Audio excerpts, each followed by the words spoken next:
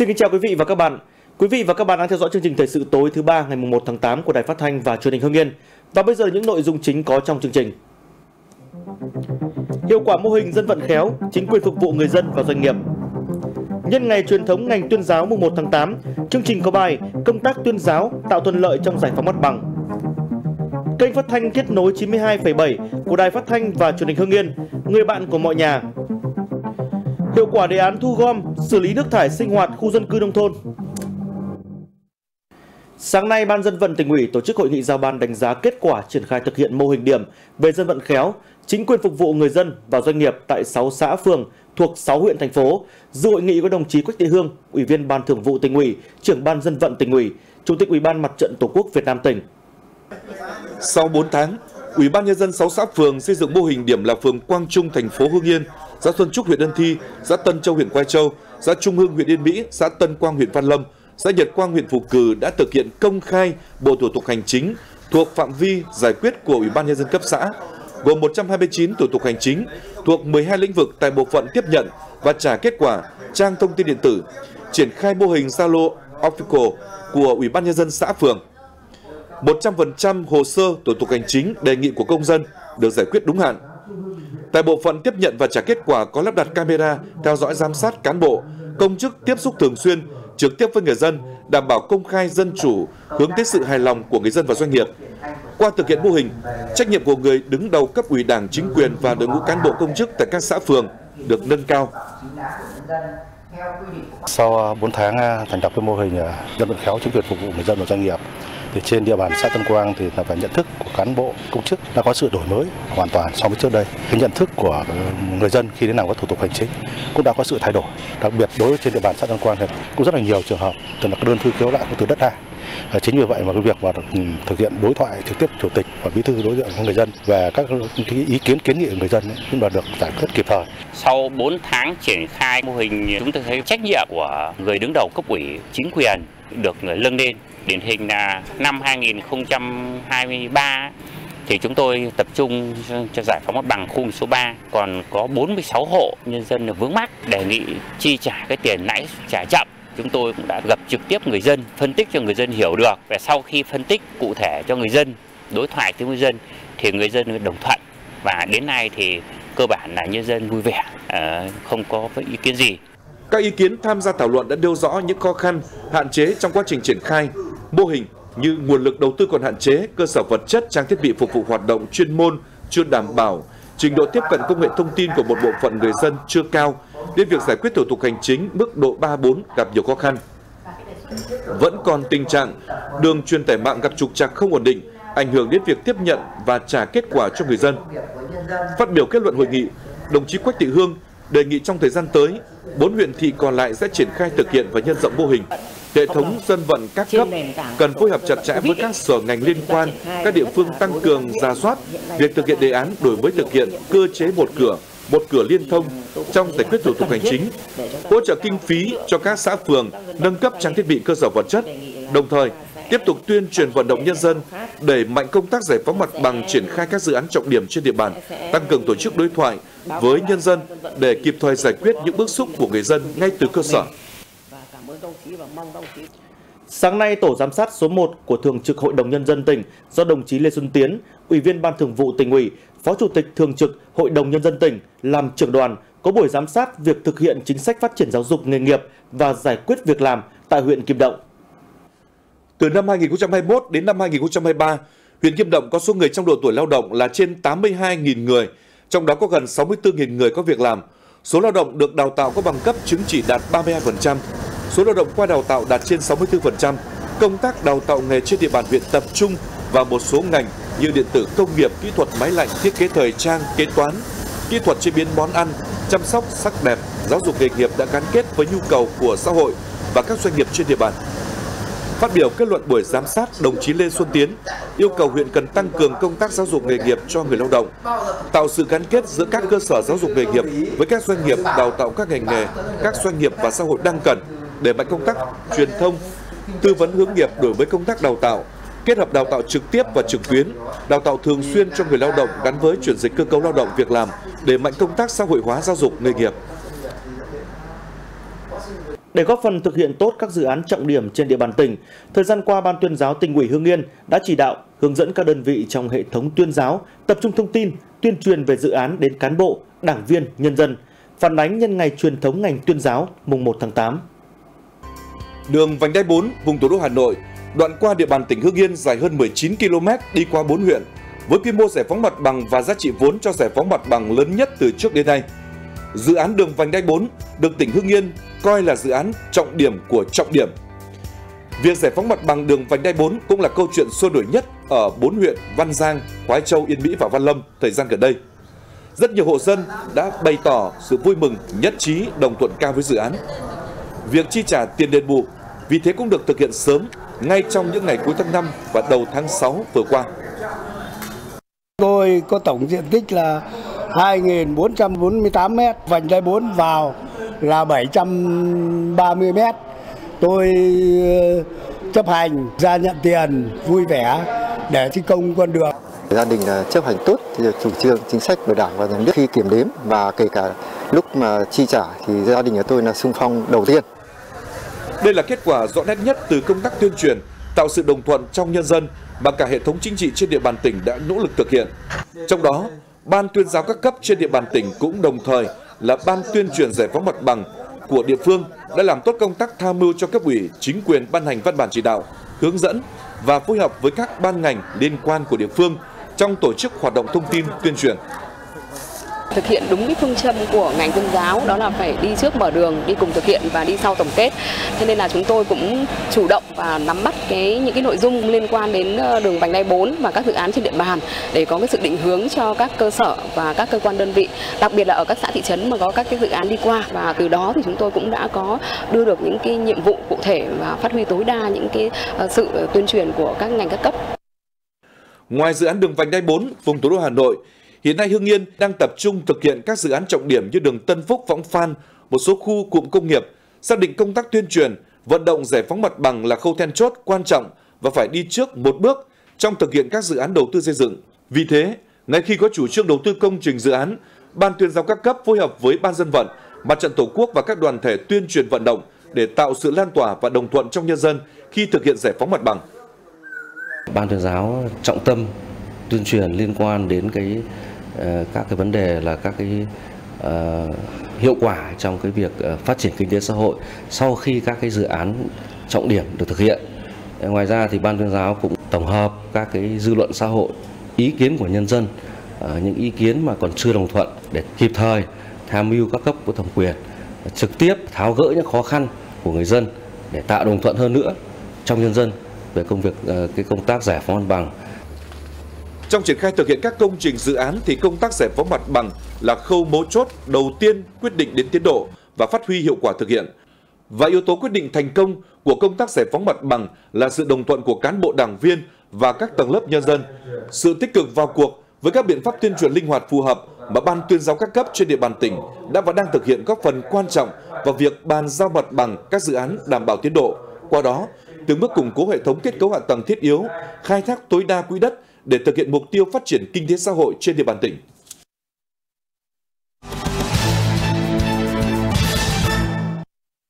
Sau đây là một số quy định chính sách nổi bật có hiệu lực từ tháng 8 năm 2023.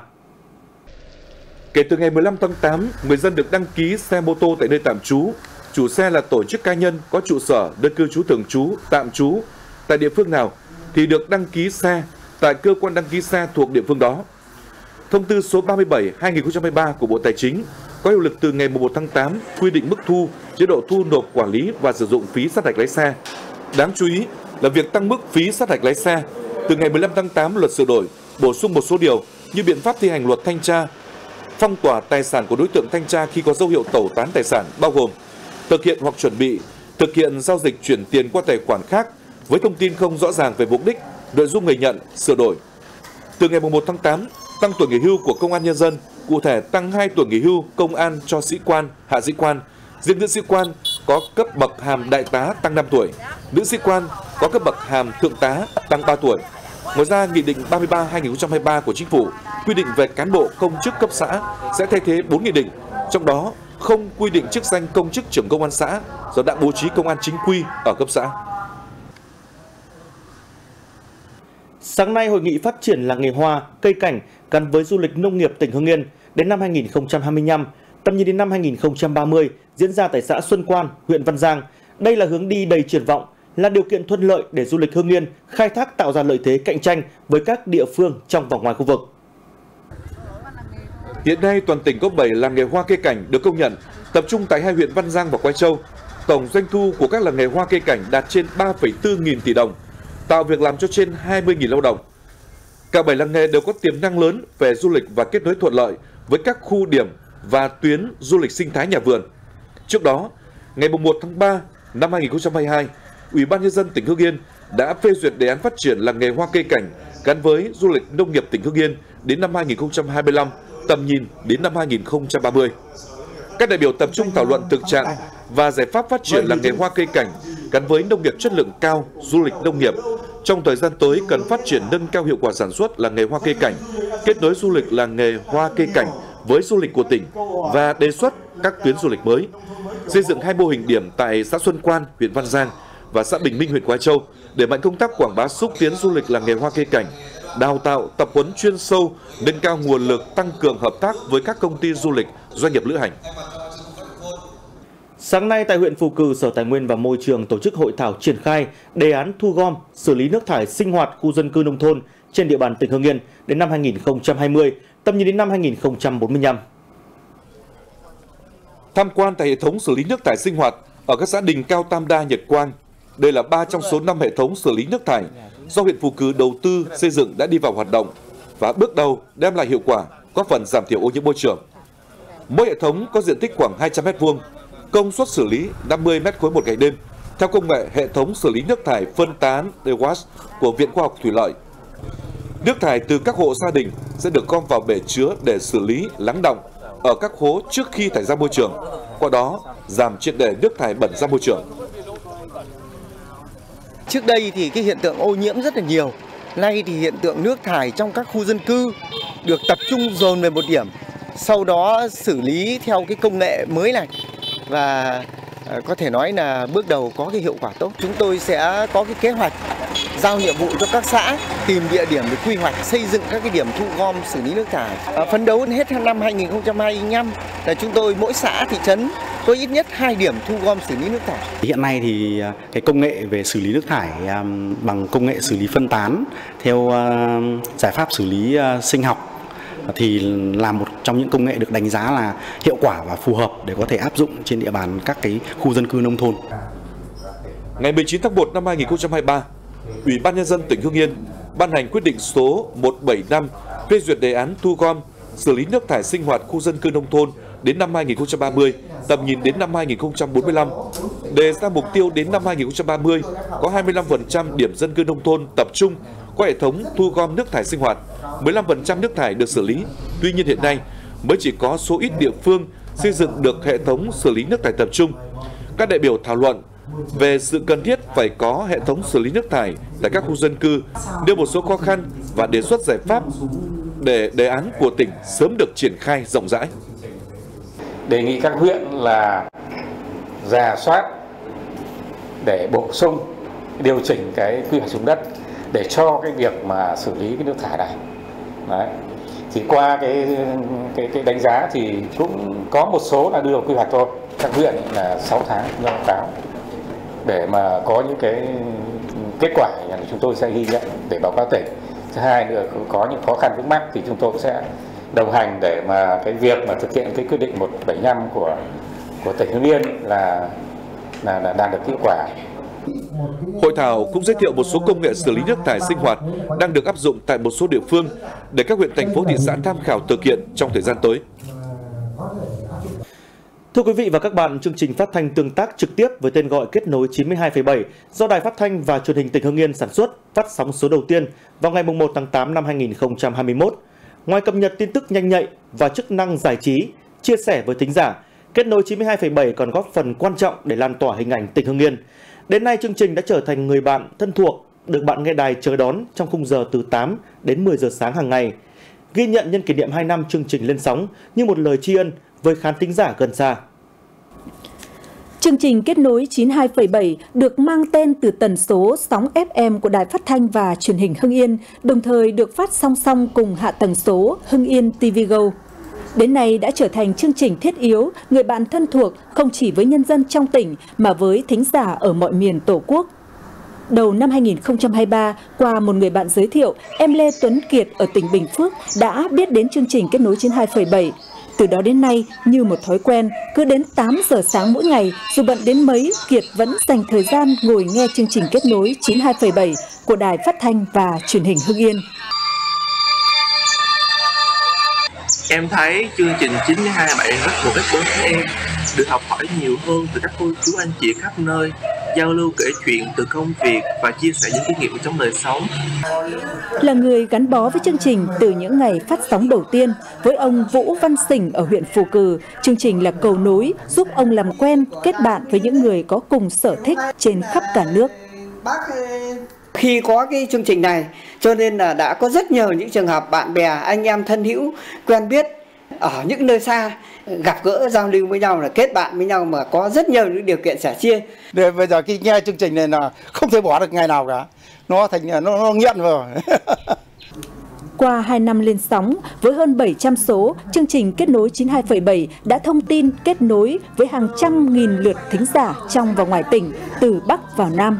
Nhiều thính giả ở nước ngoài cũng theo dõi và tương tác với chương trình qua số hotline 0363 -089 và kênh TikTok truyền hình Hưng Yên. Nhờ sóng kết nối 92,7, không ít thính giả đã tìm được đồng đội, người thân, bạn bè sau nhiều năm thất lạc. Các MC thì có cái giọng nói là truyền cảm, ngọt ngào, gần gũi và rất là thân thiện. Thính giả thì rất thích nghe và yêu mến chương trình cái nội dung của chương trình thì rất là phong phú, cung cấp đầy đủ thông tin về kinh tế xã hội của tỉnh và của cả nước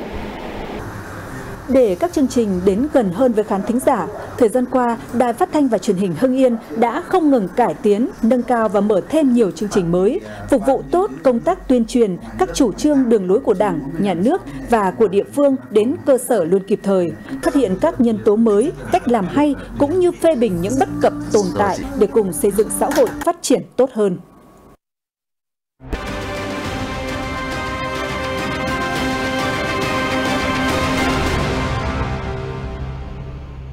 Nhằm kiềm chế tai nạn giao thông, hạn chế thấp nhất số vụ tai nạn giao thông đặc biệt nghiêm trọng, không để xảy ra các vụ ùn tắc giao thông trên địa bàn toàn tỉnh. Sáng nay, Công an tỉnh ra quân tổng kiểm soát các phương tiện chở khách, xe container và đảm bảo trật tự an toàn giao thông dịp cuối năm 2023. Theo đó, Giám đốc Công an tỉnh chỉ đạo các đơn vị chuyên trách tăng cường lực lượng, phương tiện, tổ chức tuần tra, kiểm soát, phát hiện và xử lý nghiêm hành vi vi phạm trật tự an toàn giao thông là nguyên nhân gây ra tai nạn giao thông đường bộ, tổng kiểm soát xe kinh doanh vận tải hành khách và xe ô tô vận tải hàng hóa bằng container. Tiếp tục thực hiện kiểm tra theo chuyên đề, lái xe sử dụng chất ma túy, uống rượu bia, các chất kích thích, chạy quá tốc độ, quá tải, quá khổ, cơi nới thùng xe. Đặc biệt là nâng cao hiệu quả việc xử lý các hành vi vi phạm về trật tự an toàn giao thông qua hình ảnh, qua thiết bị kỹ thuật nghiệp vụ và camera cố định. Lễ gia quân cao điểm kiểm soát xử lý xe vận tải hành khách và vận tải container được thực hiện từ mùng 1 tháng 8 đến 15 tháng 10 năm 2023. Nhằm đảm bảo trật tự hành lang an toàn giao thông đường bộ trên tuyến đường DT382, khu vực chợ Đông Tảo, theo phản ánh của Đài Phát thanh và Truyền hình Hưng Yên và một số người dân, xã Đông Tảo huyện Quái Châu tổ chức lực lượng phương tiện gia quân tuyên truyền nhắc nhở, xử lý tháo rỡ, thu hồi vật tư, vật liệu hàng hóa vi phạm hành lang an toàn giao thông. Lực lượng chức năng xử lý nghiêm những hành vi vi phạm tập trung vào các lỗi như đậu đỗ không đúng nơi quy định, lấn chiếm lòng lề đường để tổ chức buôn bán, tổ chức lập bãi xe trái phép gây ảnh hưởng đến trật tự an toàn giao thông đường bộ. Để duy trì trật tự hành lang an toàn giao thông đường bộ, Ủy ban nhân dân xã Đông Tảo giao công an xã, ban quản lý chợ thường xuyên kiểm tra tuyên truyền các hộ tiểu thương duy trì đảm bảo hành lang an toàn giao thông 7 mét từ tim đường sang hai bên. Cùng với đó, Ủy ban nhân dân xã Đông Tảo bổ sung các biển báo cấm họp chợ, cấm đỗ xe khu vực đường vào sân Ủy ban nhân dân xã, khu vực cổng nghĩa trang liệt sĩ để duy trì trật tự hành lang an toàn giao thông đường bộ trên tuyến đường tỉnh 382, khu vực chợ Đông Tảo.